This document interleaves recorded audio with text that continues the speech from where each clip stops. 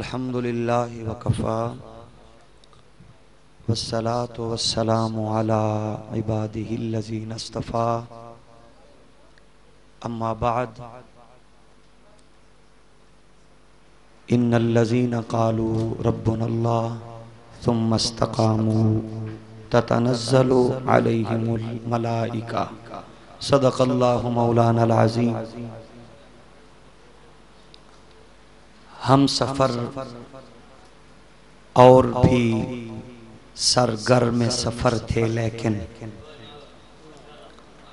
ہم سفر اور بھی سرگرم سفر تھے، لیکن اس کو رفتار سے سیاد نے پہچان لیا۔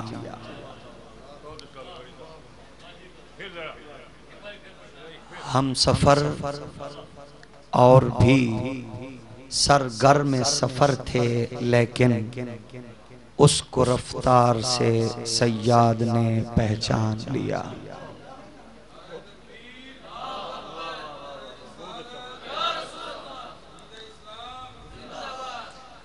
میں صرف دو چار باتیں عرض کروں گا۔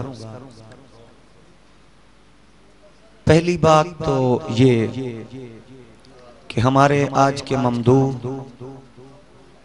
شہید اسلام آبرو اہل سنت۔ حضرت علامہ ڈاکٹر سرفراز احمد نعیمی صاحب رحمت اللہ تعالی علیہ کی ذات گرامی اور شخصیت کے حوالے سے ہم یہاں جمع ہیں۔ اسٹیج پر نامور علماء کرام کو آپ اپنی نظروں سے ملاحظہ فرمانے کی سعادت حاصل کر رہے ہیں۔ ڈاکٹر سرفراز، جو جس طرح کا نام تھا، اللہ نے اسی طرح ان کو سرفراز فرمایا۔ ہم نے ایک بار کہا کہ ڈاکٹر صاحب، آپ اتنی دور سے موٹر سائیکل پر آئے۔ تو ایک جملہ انہوں نے فرمایا کہ جب میں بیٹھا تھا، تب بھی سرفراز تھا۔ جب میں اترا ہوں، تب بھی سرفراز ہوں۔ تو جنازے کے دن جب ہیلی کاپٹر سے میت اتر رہی تھی تو بے ساختہ میں نے کہا تم اب بھی سرفراز ہو۔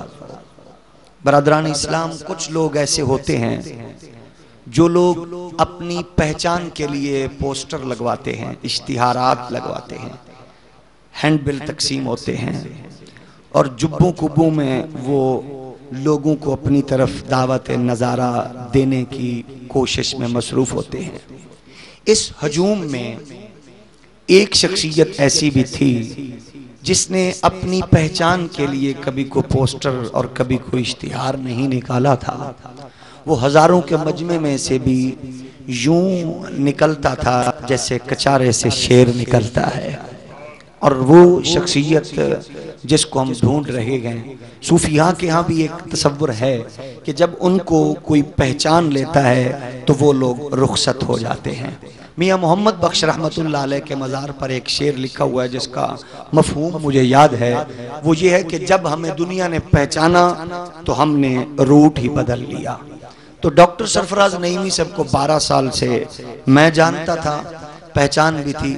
لیکن میں بھی روایتی سنیوں کی طرح ان کو اس طرح نہ پہچان سکا جس طرح پہچاننے کا حق تھا۔ تو عرض یہ کرنا ہے کہ ڈاکٹر سرفراز نعیمی کو جب ہم نے پہچانا تو وہ ہم سے جا چکے تھے۔ ہر آرٹیکل ان پہ، ہر خبر ان پہ، ہر بندہ ان کا تبصرہ کر رہا گئے ہم نے اپنے کانوں سے ان لوگوں کو سنا جو ساری زندگی سرفراز نعیمی صاحب کو کرٹیسائز کرتے رہے۔ وہ جنازے پہ یہ کہہ رہے تھے کہ بہت بڑا جنازہ ہے۔ اب سنیوں کے پاس صرف تین جملے ہیں۔ جنازہ بہت بڑا تھا۔ ایک تو یہ جملہ۔ اور دوسرا جملہ یہ ہے کہ وہ ولی کامل تھے۔ اور تیسرا جملہ یہ ہے کہ ان کا خلا کبھی پورا نہیں ہوگا۔ یہ تین جملے اب ہمارے پاس ہیں۔ تو عرض یہ کرنا ہے، ویسے تو اسلام کے ساتھ جو اسلامی ہسٹری کے ساتھ جو ایک تصور موجود ہے، وہ یہ ہے، مسلمانوں میں جب بھی کوئی گریٹ پرسنیلٹی دنیا سے رخصت ہوئی ہے، تو اس کی جگہ کوئی کوئی پر نہیں کر سکا۔ یہ تصور اسلامی ہسٹری کے ساتھ موجود ہے۔ ہاں باقی گروہوں میں، قبیلوں میں، ہسٹری کے لوگوں میں اور کوئی شخص برا گیا تو اس سے بھی بدتر آیا۔ لیکن اسلامی ہسٹری کے ساتھ یہ سانحہ موجود ہے کہ جب کوئی شخصیت گئی تو اس کا خلا پورا نہ ہو سکا، صلاح الدین کا نہ ہوا، اورنگزیب عالمگیر کا نہ ہوا، ہمارے گاں آئے تو قائد اہل سنت علامہ نورانی کا نہ ہوا، مجاہد ملت علامہ نیازی کا نہ ہوا، پھر فضل خیر آبادی آگے جائیں تو امام محمد رضا کا خلا پورا نہ ہوا۔ پھر اگر آپ پیچھے ہیں تو غزالی زمان کا محدث اعظم کا خلا پورا نہ ہوا، مناظر اسلام مولانا محمد عمر اچھروی کا خلا پورا نہ ہوا، مولانا عنایت اللہ سانگلہ ہل والوں کا خلا پورا نہ ہوا تو مفتی احمد یار کا خلا پورا نہ کر سکا اور اسی طرح ڈاکٹر سرفراز نعیمی رحمت اللہ علیہ کا بھی خلا کوئی پر کر سکتا نہیں ہے۔ تو پھر ہمیں کیا کرنا ہوگا؟ ہمیں صرف ایک کام کرنا ہے کہ ہمیں آج کے ڈاکٹر سرفراز نعیمی کو پہچاننا ہے، اس کی شہادت سے پہلے اس کی موت سے پہلے خدا را اپنے سرفرازوں کو پہچان لو۔ کل کو تمہیں دنیا کہے کہ سرفراز تمہارا گیا، اخبار کی بات ماننے سے پہلے، میڈیا سے پہلے، جرائد، رسائل سے پہلے، اور ان اخباروں سے پہلے۔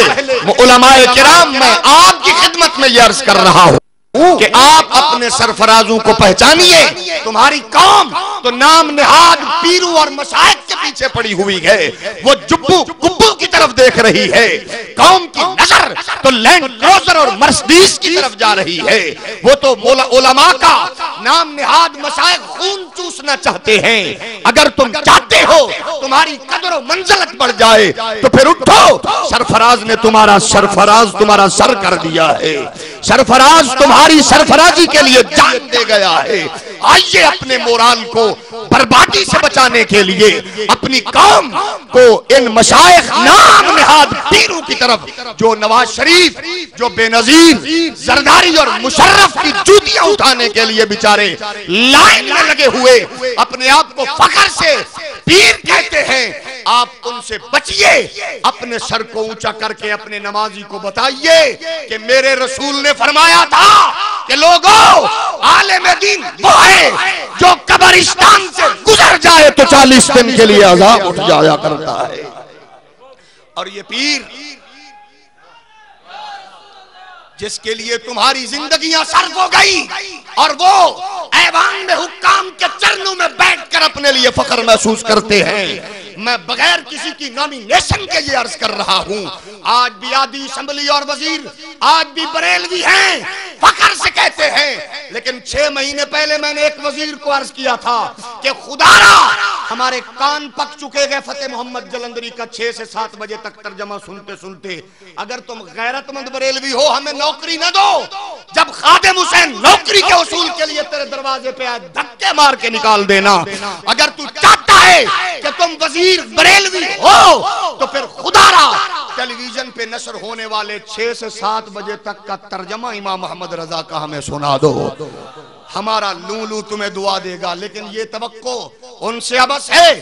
اس لیے وزارتوں اور مشاورتوں کے جھنڈے جب گاڑیوں پہ لگتے ہیں، تو پھر سنی اور نام نہاد مشاہد کی فکر بھی بدل جاتی ہے۔